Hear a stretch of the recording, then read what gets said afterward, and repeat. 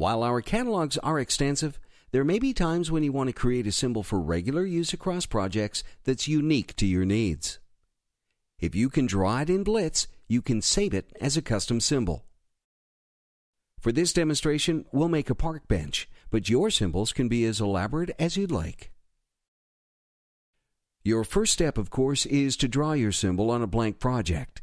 You can use lines, curves, arcs, or any other shape. We'll start with a rectangle. Remember, your properties show in real time on the Properties panel. You can get it close and then polish in the Panels field. You can add color to your shape if desired.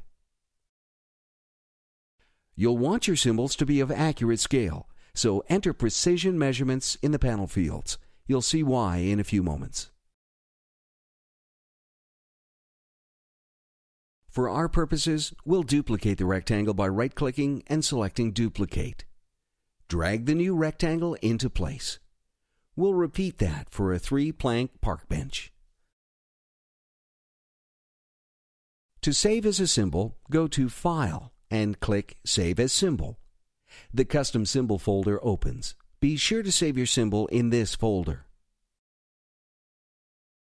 Give it a predictive name that indicates what the symbol is so you can recognize it again.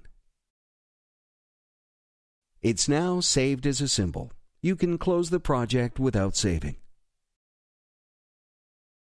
To place your new symbol into a scene, click the Import Symbol command and select it. Click Insert and place your symbol wherever you want it.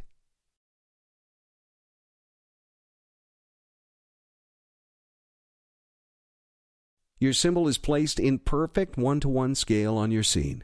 As long as your measurements were correct when you made the symbol, it will be correct in your scene. Thank you for joining us.